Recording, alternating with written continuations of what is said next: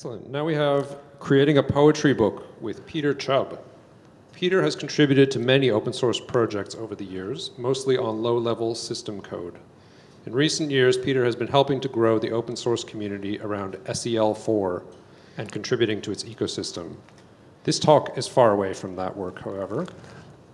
Today, Peter will talk about using the LaTeX typesetting system to produce a publication ready poetry book. Please welcome Peter. Hello, folks. I'd like to start by saying this is nothing whatsoever to do with my work, it's all on my own time, and that I do have a note from my mother to say that I'm allowed to quote some of her poetry. I'd also like to acknowledge that we're meeting on the land of the uh, Wurundjeri Woi people uh, and pay my respects to elders past, present, and, and emerging.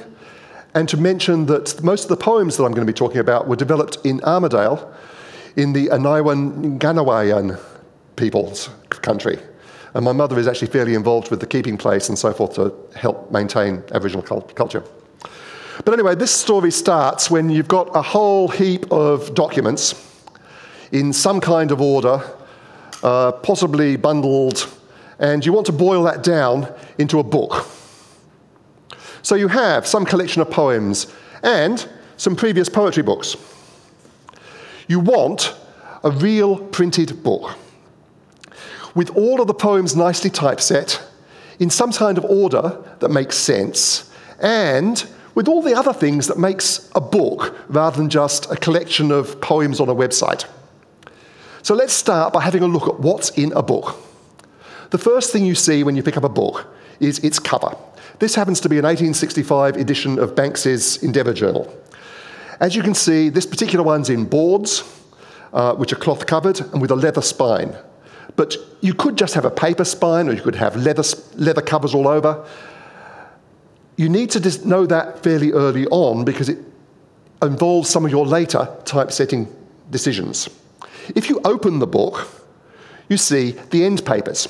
Now, when you've got a book, a hardcover, you tend to glue across the spine sheets of um, gauze, um, like you use with bandages and then use that to glue the covers on. If you just do that, you can see the bits of gauze and it looks really ugly.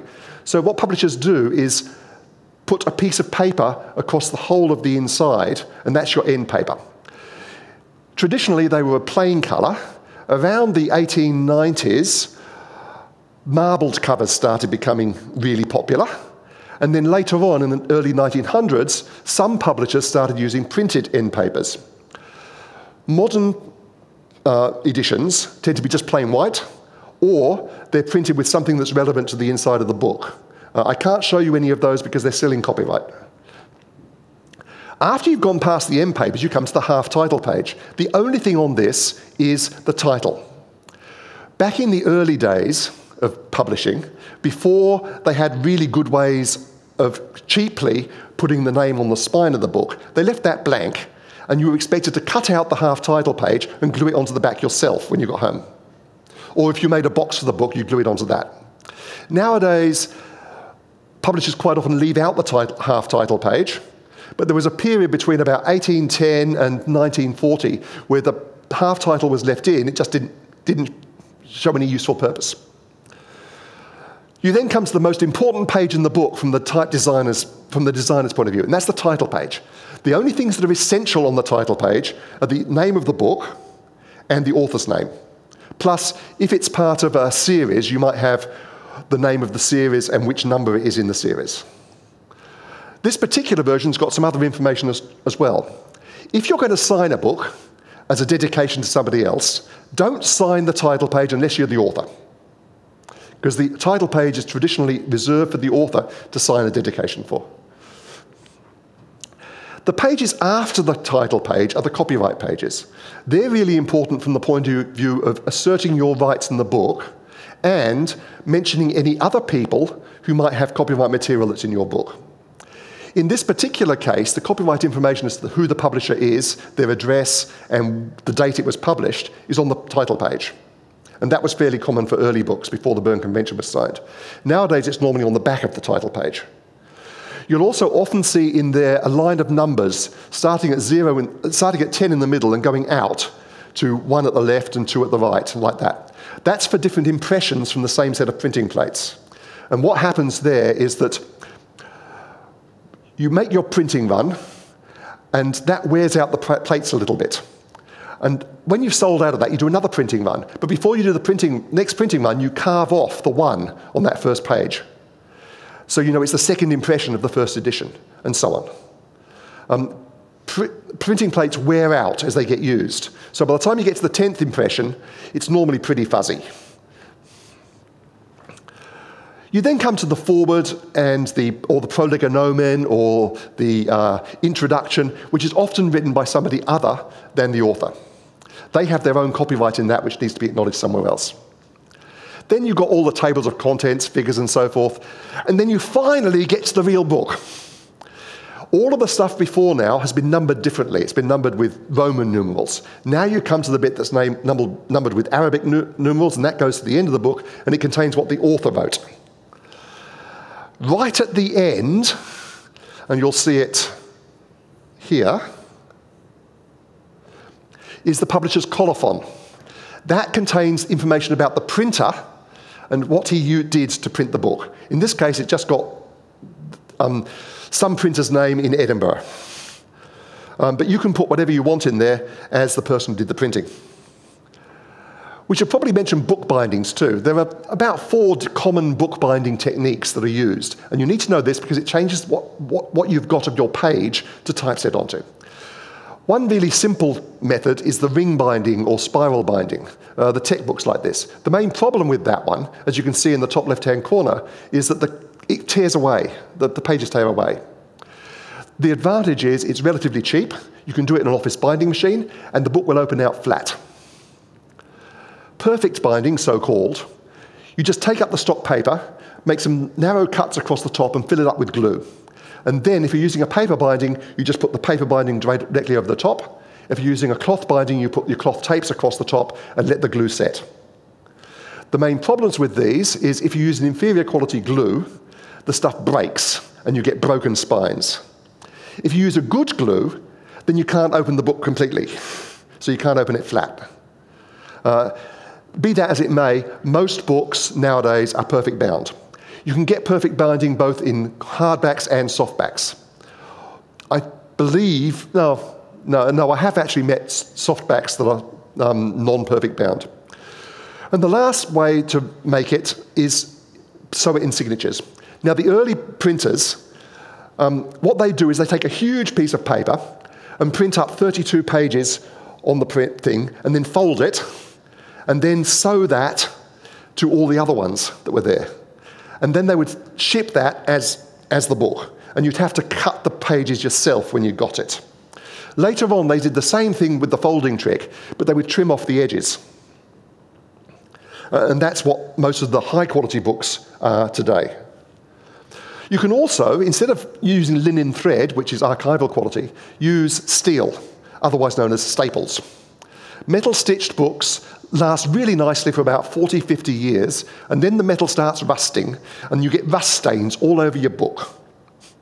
Um, so, for archival quality books, you probably want to use linen thread rather than uh, metal stitched. Um, if you have a binding that is like the uh, spiral binding, or like a perfect binding, or a Japanese stab binding, which I didn't actually mention, then you lose some of your book on the left hand side, on the inside edge of each page. So that green line there, everything to the left of that you can't really use because it's used up by the binding. And that changes the aspect ratio of your page when you go to lay it out. Likewise, if you're using a, a sewn in signatures um, book, the inner pages stick out further than the outer pages. So you have to allow for trimming the page, and every page is going to have a slightly different aspect ratio. You may want to trim more off than you just absolutely have to in order to change the aspect ratio of the page. So um, all the uh, A series papers, they're all uh, root 2, square root of 2 ratio between the length and the height. If you wanted to move that more to the golden ratio, which is like 1 to 1.56 something, you'd need to chop it off a bit more. Either way, you need to know what that trim is that you want to do. Now, when I first did a poetry book back in 1996, end of 96, early 97, we were still back at LaTeX version 2, and it didn't have any really good ways of laying out pages that weren't American paper. The A4, A5 styles really sucked. And they didn't have any really good verse packages to lay out poetry. So I created my own styles from scratch. That was really, really tedious and really hard to maintain as new versions of LaTeX came up, along. But today, in 2023, there's this class for layout called the Memoir class, which provides really good opportunity for page layout, and it understands A series paper. The other thing I needed was a good way of laying out verse. The big thing that the built-in verse class, verse style that happens in memoir class that doesn't do is wrap lines. If you can see in this line, there's one really long line. For poetry, what you do is you take the end words and wrap them and align them right so you can tell it's still part of the same line because the line structure is part of the poem. It's not just something that's added on. So, the, main, the, the remaining thing is to build an index. So we've got an index of the poems. There's memoir class has built in stuff for generating the uh, input to an indexing program. There's a public domain, uh, sorry, open source makeindex program that you can run on that to generate the LaTeX to be styled for your index. So we're set. So what have I got? I've got three previous books in the series. I've got a collection of poems in Word or Microsoft Works format, plus a whole heap that are handwritten in writing that's got worse and worse as my mother's eyesight's been fading. So what I want is firstly to convert that to plain text. AbiWord can understand the um, doc format that was exported from Works and Microsoft Word format, so we can generate plain text from it. So if I take a doc poem that looks like this, this is a really good poem, by the way, I might read it to you. It's called 77 Trombones. Here's how we planned it. Brass glinting in bright sunlight, kids shouting, clapping, waving flags. The old is smiling, eyes moist with memories, dogs straining at leashes, sniffing the air, horses, camels, monkeys, clowns, tumblers, jugglers, fire eaters, men on stilts, girls in gaudy costumes, tableau by the truckload, balloons lofting into the blue, blue yonder, lost in the razzle dazzle of summer sun. But it rained and nobody came. Anyway, that's an example of my mum's poem. But that's the, the doc format. After you've converted it, you get something that looks like this. And you'll notice that the spacing is a bit weird. Um, the line break there is that where it goes moist with memories is just because I had to fit it on the slide. It's not real. So we had to mark them as poems so I could actually style them and uh, add stanza separators and take all those tabs that Mama put in to separate out ideas and replace them with a qquad. I wrote an awk script to do that. It's too big for the slides. You can get it from the Git repository. And then you end up with something that looks like this. And all I've got to do now is write the poem and stanza classes, uh, environments. So we're almost there. I'll give you a slight TeX refresher. It's all about boxes. And a box has a height and a depth and a baseline. When, when text um, is in horizontal mode, it lines up all the boxes on the baseline. When it's on vertical mode, it goes down the page, lining things up on the um, left-hand edge. A character goes down below the baseline and up above it. And all characters are boxes. So if you type a line of type, what TeX sees is just these boxes, and it puts them all together. And it keeps on putting them all together until it gets to a point where it can't put any more in the horizontal, um, in, in the horizontal space it's got. If you're in the middle of a word, then it says, ah, I, it's really bad to break here. I'll stretch all of the inter, interword spaces until I've got somewhere I can break, because you've got glue in the between spaces. If you're going downwards, it does the same thing. It goes down until it can't fit any more on. It then tries to stretch the inner the, the inter, inter, interline space until everything fits. The interline spaces, or intercharacter spaces, have this idea of a rubber length. You've got the base length, in this case, space of nine, And then it can stretch up to three more units or shrink up to one unit. And you can put infinite spaces in there too if you want to. So this thing, its natural width is 32 units, but it can actually squish into a 29 unit thing or up to a 41 unit thing. So let's look at the memoir class. It's got oodles of flexibility and a huge manual, but what I find is I need a bit of help to work out what it's doing. So what I do is I use the showframe package as well. What the showframe package does, in this case, it puts a red line around all the major elements on a page so I can see how what I'm laying out fits onto the page. The other thing I need to do is because of that glue, I can't always tell where particular elements end and where the next one begins because they can overlap. So I've created this tight frame thingy. And I'll show what that means in a little while. In fact, the next slide. You can always use Fbox to put a box around something. But if you just do that, like here, you can see that the frame is bigger than the box that, that, that it's surrounding. And the distance between the, the, the line and the content is frame sep, Fbox sep. And the width of the line is um, Fbox rule. If I go back to that one, you'll see I set Fbox rule to one point and set Fbox sep to minus the Fbox rule width. And that should give me a box that goes exactly around the content. And you can use that as you go along to show how you're going with your page layout. So, what's the basics? I want to run on A5 paper, so I say stock AV. There's also stock V for stock A uh, IV, and there's all the B sizes, and there's American sizes, and there's imperial sizes as well. But you say what the stock size of the paper is that you're going to print on. We're going to trim six millimeters off the outer edge and nothing off the top. So I'll set trims to six millimeters. Uh, and that's, you, you can see where that line is. We're then going to set the upper and lower margins. Oh no, first, for some reason, um, the memoir class doesn't actually set the paper width and paper height options, so I'm going to set those myself uh, because I'm going to need them later when I lay out the cover sheet. We're then going to set up the upper and lower margins.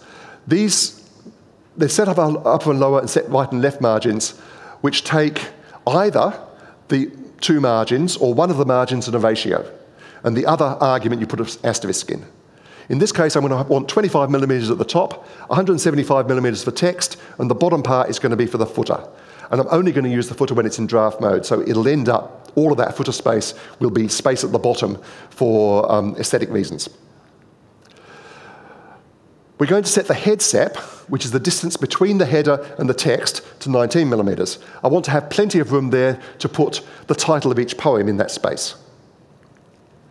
And then we'll call check and fix the layout, which checks that all of the, all of the dimensions you've specified can actually fit onto an A5 sheet. And it will complain bitterly if you can't. Now, let's have a look at some poems. There are some poems that are just flush left. This is a nice one. Wet white stilts, wet footfalls, delicately walking through the shallows towards the house. Black cat in the shadow. Should I shout? But the white birds see the black shadow and launch into the sky, leaving the cat to lick her paws. So that one's just on the left. But you can also have poems that are just totally centered, like this dog thought. She thinks I'm walking to heel. I know I'm rounding her up. Or you can have really, really wide ones. I'm not going to read this one to you, it's not in my book, and it goes a bit longer, and you've only got one verse. Or you can have things that are totally arbitrary, and some, some, some things are indented and some stanzas are out, or individual stanzas have lines that are indented or out. So, what I decided to do was create stanza styles for all the common cases, and then deal with the few that were totally arbitrary in a totally arbitrary way.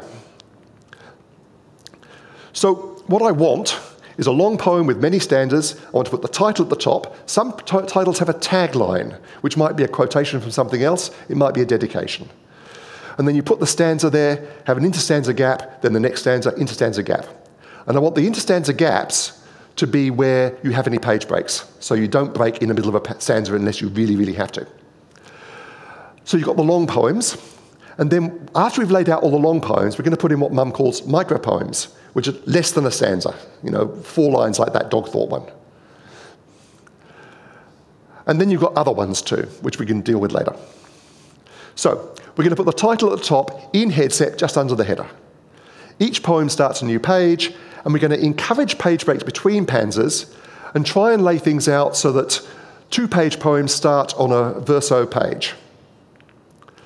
And then after we've put all the poems in, we'll put the micropoems in to put in the gaps. So the title poems, we want the title in all caps, we want it just below the rule. So I'm going to create a new length called title drop, and I'm going to start it just being minus the head separation, so minus that 19 millimeters. And I'll create the new environment poem, I'll do a clear page to move us to the top, and then I'm going to skip upwards by that title drop and put the title in. As you can see, there's this extra space. Hang on, I've just done something wrong. Uh, I've lost my thing.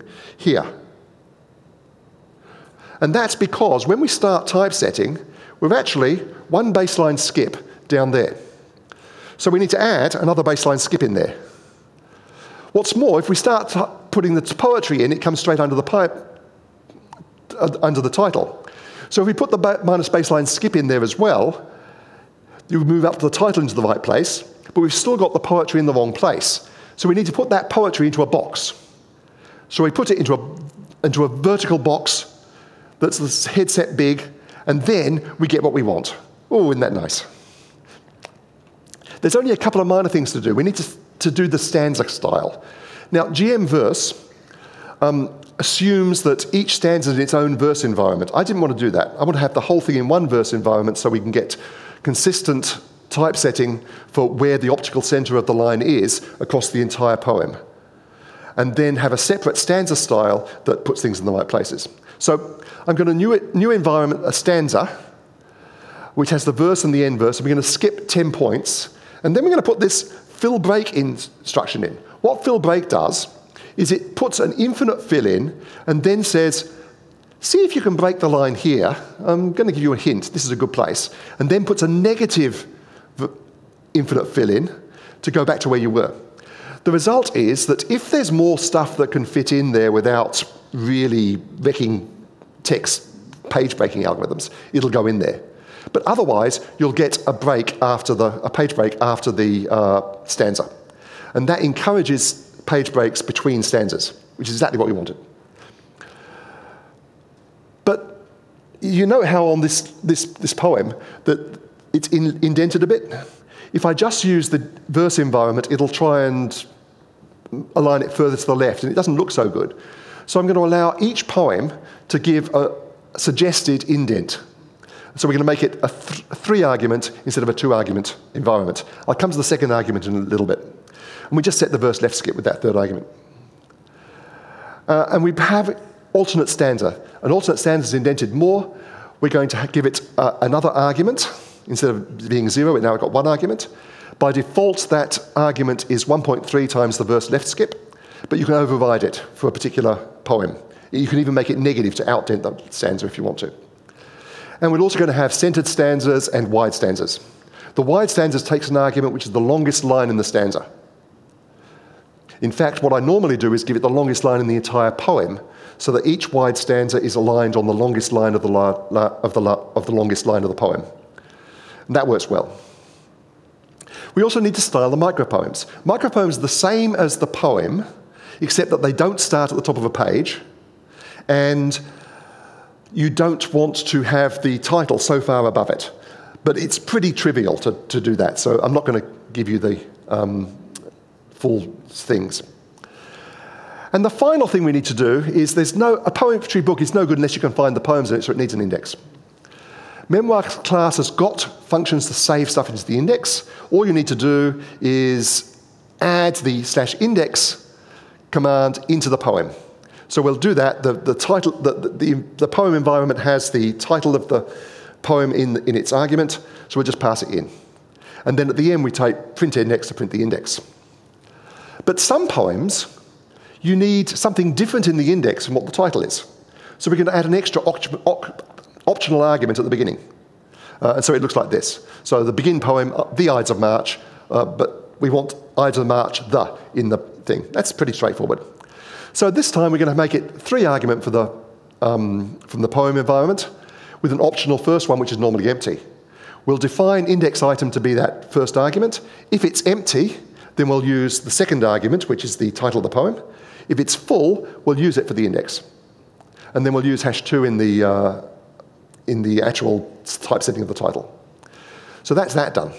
But when we come to print the index, if I just use print index, I get something that looks like this, which looks nothing like the other pages of the book. I can change the page style to ruled, like all the other ones, and get the, the line and the page number, but it still doesn't look right. And then I can, you know, do all this stuff to extra things to style the page. I got fed up and just wrote my own um, index style. And at that point, I get exactly what I want. You'll notice that this little bit inside the index thing is exactly what we saw in the poem thing because it's essentially the same. We want to move that index word right up the top and have a skip before the, um, before the, the, the, the, content. So the cover and the front matter, this is what took me the most time, trying to reproduce this. Um, Dad did it in some kind of Word, Windows drawing package, and I haven't got access to that. So what I did was I measured all those previous covers using a ruler. Um, I want the title page is the same as the cover. The back page is almost the same, but it's got different content. So if I can do something which will create that rule and give me something in the middle that I can put the, the uh, content in, then I've got the cover, I've got the title page, which is the same as the cover, and I've got the back page all sorted. So that's what I'm going to do. I measured it, and the first thing to do is create a box that goes to the width of the paper, that paper width uh, uh, thing I saved right at the beginning. And we're going to put it in a V-box to zero point. That's important because it means it doesn't take up any vertical space, which means you can start at the top uh, as opposed to nine millimeters down. We'll start by skipping nine millimeters minus the upper margin. Now, the upper margin is where the text box starts. So if we go up, we're right at the top, then down nine millimeters, we're nine millimeters from the top. So that's what we want. We're going to give this cover page an argument to say whether it's on the front or the back. Because on the front, we need to adjust the left margin, which is the spine margin. On the back, we need to adjust that margin, which is a different one. So if we look at this bit, we um, take 10 millimeters and subtract the spine margin to get 10 millimeters from the left on the, um, on the front page. And on the other page, we just go four millimeters in there. And that gives us that. And then we put the frame box in. There it is. And then we create a mini page. And a mini page LaTeX environment lets you put any typesetting you want in it. We give that the size 120, 22 millimeters across, which is from there to there, and 184 millimeters down, which is from there to there, and we put the second argument inside, which has got all the content for the picture and the title and everything else. And then we've done it. But some individual poems need a bit of extra work. This is a really good poem, so I'm going to read it to you when I find it. Here we go. Um, and you can see in this one, you've got all these extra qquads all over the place. Um, when you typeset it, it looks like that. And you can see it's all over the place. Here, here's how it goes. It's called in plain language. He asked me for a date. The hide. No way, I thought. I have to wash my hair, I said. Another time? he asked. The simpleton. Beneath my breath, I muttered, In your dreams. The nerd. No music in his soul. I cannot come, I said. My granny's sick. That should be plain enough for anyone, however dumb. Today he called around with flowers. Nothing fancy, daffodils and gillyflowers. Not for me, for Granny. And she raved. She reads the sense of flowers as I the sense of words, but wouldn't tell, just grinned. A cream filled Cheshire cat. And now he's got his date with Granny at the club. They won't be back till one or two, and I stay home and wash my hair. It isn't fair. It makes you sick. Yeah, when you come to the page just after the title page, the copyright page, it's one of the most important pages in the book because this is where you assert the rights of everybody involved in the book. The problem is there's at least four different copyrights in a poetry book, at least. The first one is the individual poem's text, the content that I just read out to you, for example. That belongs to the author, the poet, for up to, se- to 70 years after that poet's death. The next is the typesetting. That's all the work I've been putting it in. That's going to last for 25 years from the date of publication. So if you get an out of, the, out of copyright, a, a, a book of out of copyright poems that was published recently, you still can't just photocopy it. The individual poems are out of copyright, so you can retypeset them somewhere else, but you can't photocopy it. The collection as a whole is copyright. So if you get a collection of out of copyright poems that's 25 years old more, the whole collection is probably still copyright to the editor if he's still alive or she's still alive. And so you cannot reproduce the entire book in the same order. And finally, the fonts and the pictures are used, uh, are copyright. I used Helvetica as the font to typesetting everything because there's a license for that with every PostScript printer that's ever been produced. So when I give it to the copy shop to print, they've got a license to use Helvetica to print the thing. I could have used an open source uh, font, but then I would have had to embed the font, and it's unlikely that the um, copy shop would actually print it correctly. Uh, it's much better to use a, a standard font that's already available. And pictures, of course, have their own copyright for 70 years from the date of the author's, or of the painter's or artist's death. In Australia, copyright is automatic, it doesn't need a notice.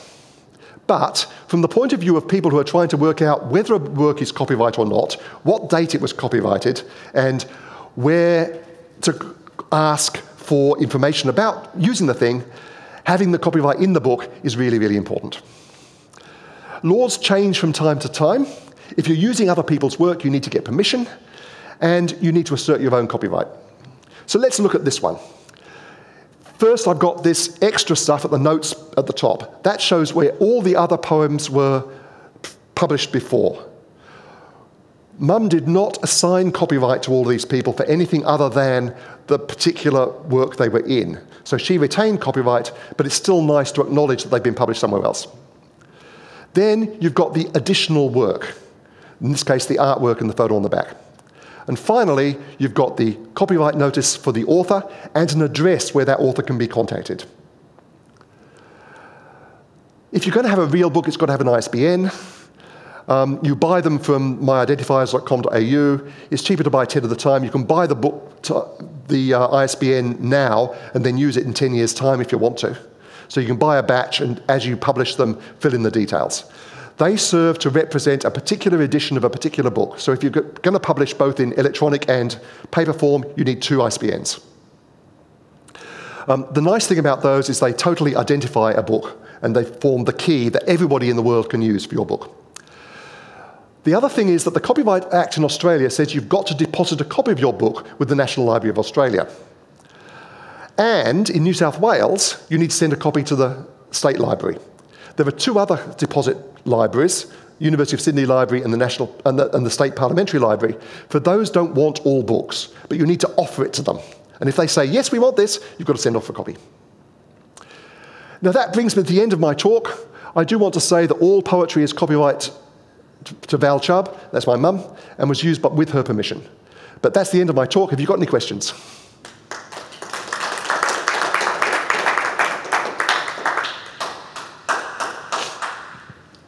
Thank you, Peter. Do we have any questions for Peter? If you don't have any questions, I can inflict another poem on you. Would you like that? I, I okay. have a question. Before, you, can I ask a question? Before yeah, sure. You, yeah. so you, you, uh, I take it that this is a, a, a, series, and you've added a volume to this series. Is that um, right? Like you? These are the series. Yeah. Right.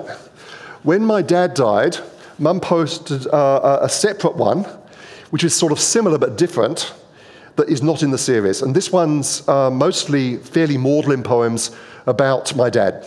Right. Uh, and she doesn't sell this one, she just gives it away. So I, I you mentioned that your dad used uh, basically like a WYSIWYG editor. Yeah, to he used FrameMaker.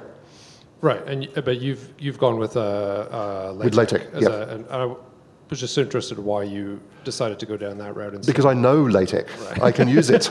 I've, I've used LaTeX since Donald Knuth brought out his TeXbook, and I was frustrated with troff. right. Do you, do you, have you got any thoughts on the, on the benefits of doing it one way or the other, or is it just that you knew? Um, the, the big thing about using LaTeX is you can set up the style, and it works for everything. And the next time I've got a book to do, which Mum's got another one on the thing, I don't need to change anything. It just works. Whereas with the WYSIWYG thing, you style a poem and it doesn't take on to the next poem and the next poem and the next poem. You've got to do each, all of them individually. And even if you set up a template, the template never quite corresponds in the right places. Whereas with the LaTeX, it's just a programming language and you can program it to do whatever you need to. Uh, well, if there's no more questions, uh, Peter, feel free You're going to get another poem. Yep. In fact, another two. This one's called The Elephant in the Room, and it's the last poem in the book. Because what Mum did was she told me which poem needed to go first, which one had to go at the page break in the middle when you open it up flat, and which one had to go at the end. And I organised the vest to fit in between those. So this is the last poem, and because it had a bit of space on the page, I put an extra one in the end. Anyway, this is the poem The Elephant in the Room. Three days before the world ended, Scientists debated whether greenhouse gas was a new phenomenon or had it possibly killed off the dinosaurs. Politicians legislated against global warming, then return to the interrupted blame game, arguing about who, what, when, and where, but not encompassing the question of why, and totally avoiding the problem of what to do next. TV philosophers and talkback hosts discussed interesting topics such as how many multinationals could fit onto an oil slick and would humans ultimately develop gills in order to survive once ocean levels became critical? Two days before the world ended, members of a cult in Middle America followed their charismatic leader into the sea on a quest to find Atlantis. They were never seen again. But popular opinion had it that they were swallowed by a whale whose usual food source had unaccountably vanished. On the world's penultimate day, media outlets ran polls on whether meteor activity had increased significantly. And statisticians conducted an online survey of sightings worldwide of the Loch Ness Monster. Insurance salesmen lowered the premium on sudden death and or unexpected loss of life and took on new employees to cope with the extra business. FairBetAustralia.com gave odds of 7 to 1 against the world's demise. On the last day,